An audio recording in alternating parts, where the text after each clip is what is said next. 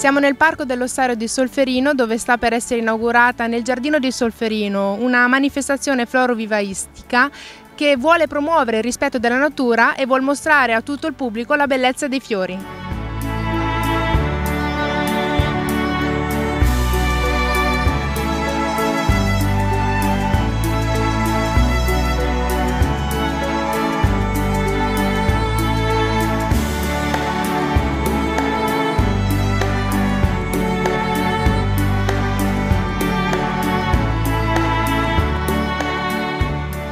Sindaco, una manifestazione che dà lustro a Solferino. Certamente dà lustro a Solferino per quelli che sono i suoi aspetti principali più importanti, la salvaguardia e la valorizzazione dell'ambiente.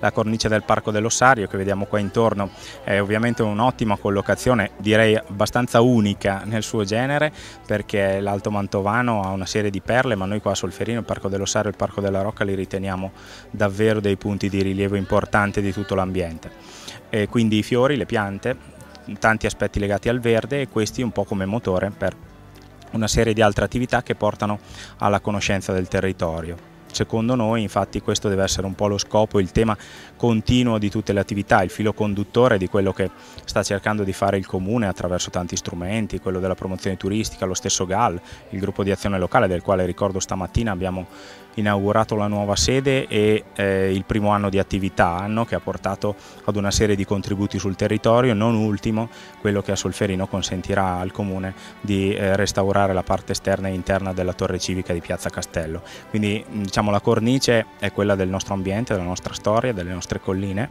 l'obiettivo deve essere quello, questo quadro da riuscire a dipingere, è quello di far conoscere a tutta l'Italia, a tutta l'Europa le bellezze di questa zona.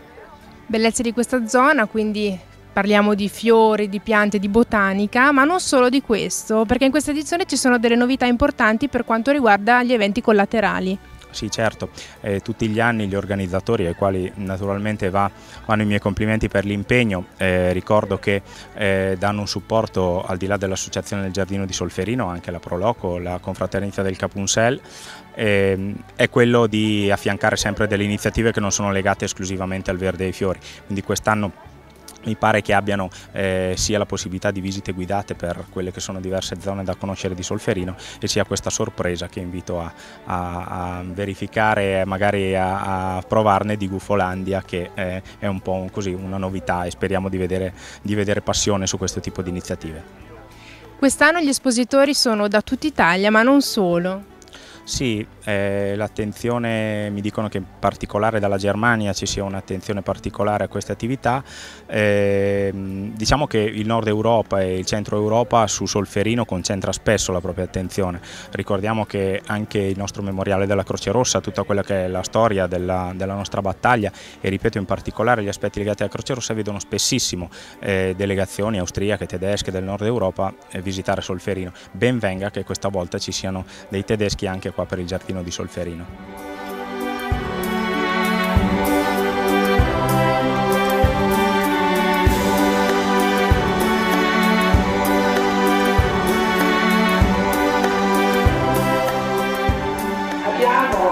Presenza della vicepresidente della provincia di Mantova, Giovanna Martelli. Abbiamo il sindaco di Solferino, Germano Vignotti, e abbiamo il presidente della società Solferino di San Martino, l'ente morale ospita, Fausto Condrieschi. Direi ufficialmente di procedere con il taglio del nastro. Eccoci. Ecco.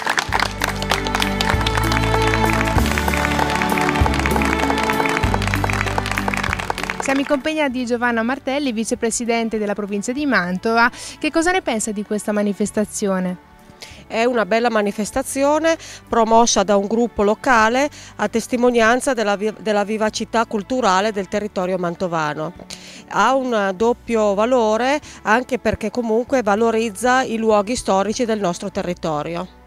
Anche perché siamo appunto nel parco dell'ossario, quindi ricordiamo anche la storia e la bellezza dei fiori, quindi un connubio perfetto. Un connubio perfetto anche proprio quest'anno che ricorre il 150 del, dell'Unità d'Italia, quindi portare qui eh, diverse esperienze eh, come ad esempio la città di Bolsena con l'infiorata credo sia stato un connubio veramente indovinato. Quindi un plauso all'associazione e agli organizzatori delle manifestazioni.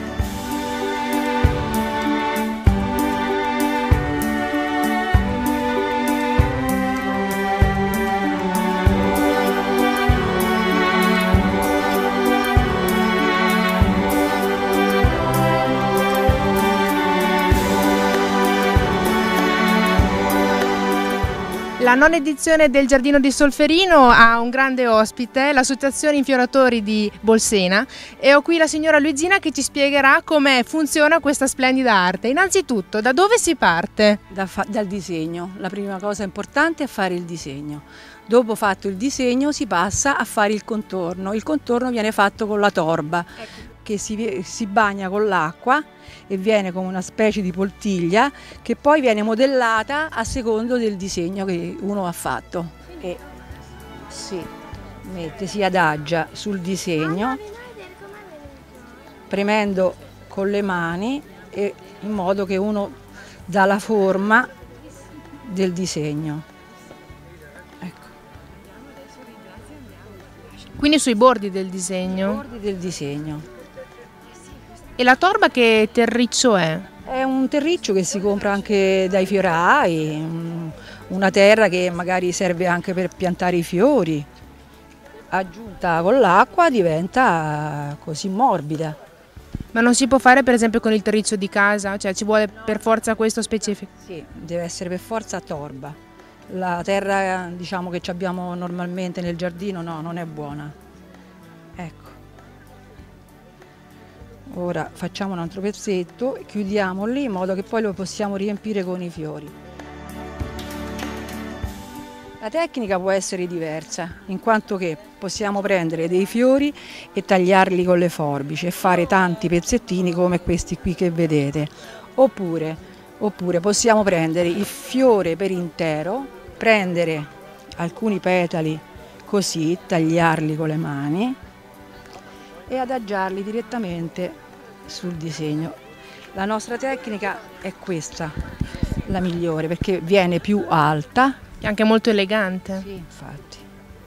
Ci vuole uno studio per riuscire magari a capire la tecnica migliore di posizionamento diciamo, del petalo? Sì, quello è importante perché non basta mettere giù il petalo, ma deve essere tutte nella stessa direzione, non deve essere uno spostato di qua, uno di là, tutti devono essere adagiati nella stessa posizione.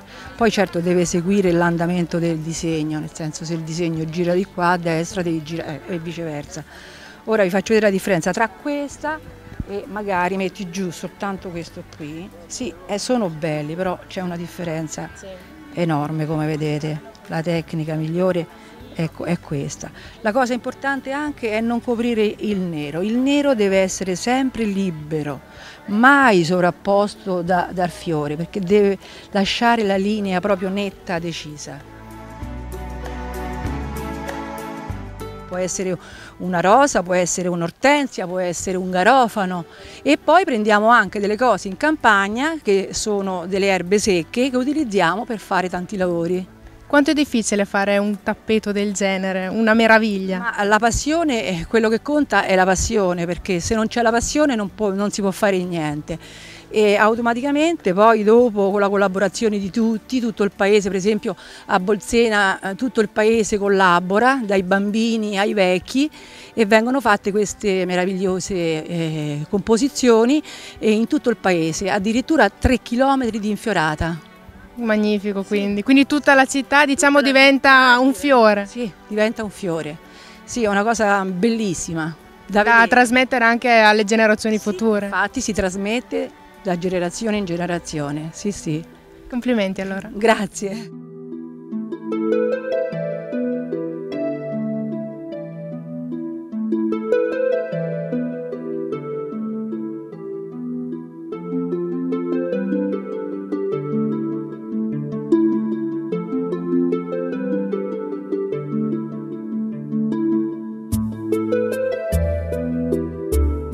In fondo c'è un tappeto che è davvero magnifico. Quanto ci avete impiegato a farlo? Dunque, noi siamo venuti la sera e abbiamo dormito, poi la mattina eh, verso le otto e mezza abbiamo cominciato e abbiamo cominciato a fare il nero. Abbiamo fatto il nero eh, fino eh, al pomeriggio. Al pomeriggio abbiamo cominciato a mettere giù dei fiori, anche perché con il sole che c'era abbiamo aspettato fino alla sera per eh, non far rovinare il disegno prima del tempo e perciò eh, pomeriggio messi i fiori e la sera avevamo finito tutto, mancava soltanto una piccola parte, però ecco, nel senso in una giornata, una giornata e mezza, eh, poi Certo è importante anche eh, sapere quello che uno fa, nel senso se il disegno è molto complicato, se è più semplice, nel senso mh, mm, dipende da tante cose. Comunque ci vuole sempre un grande lavoro, cioè stare lì lavoro, un grande lavoro, attenzione e eh, anche precisione, perché le cose se sono fatte precise vengono bene, se no no. Come tutte le come cose dall'altro? Come tutte le cose nella vita, sì, è vero. Quindi anche una scuola di vita oltre che una scuola d'arte? Sì, sì, sì, sì, sì, sì, sì, sì, sono d'accordo.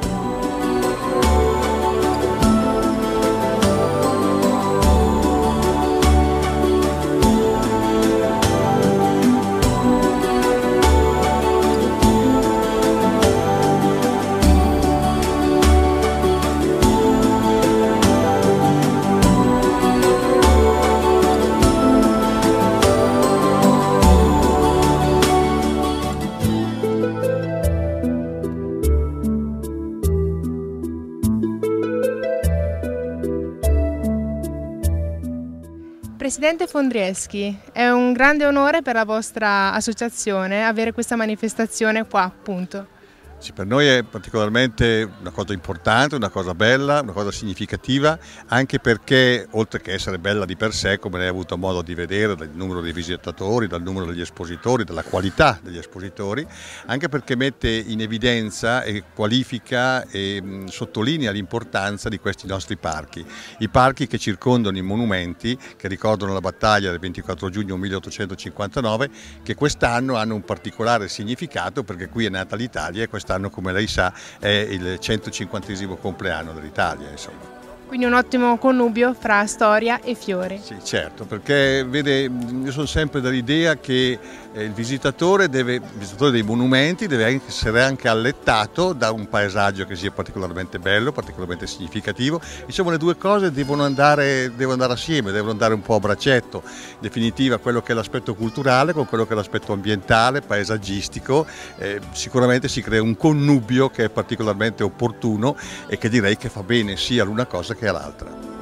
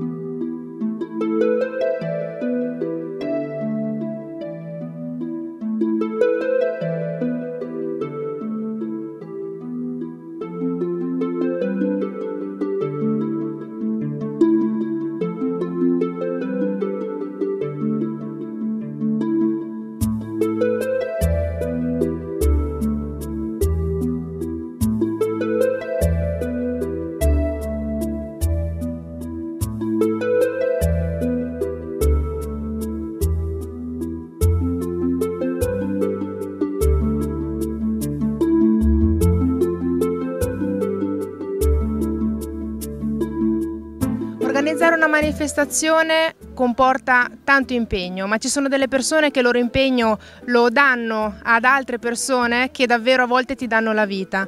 Abbiamo qui la presidentessa dell'ASPRA che è un'associazione appunto che fa sì che le persone meno fortunate di noi possano riuscire a vivere e a trovare la bellezza che davvero c'è in ogni persona. Com'è nata la vostra associazione? Nasce per volontà di genitori che hanno ragazzi in età ehm, di maggiorenni, diciamo, che hanno la difficoltà di inserirsi in gruppi di giovani, quindi avevano la necessità di uscire ma senza la famiglia.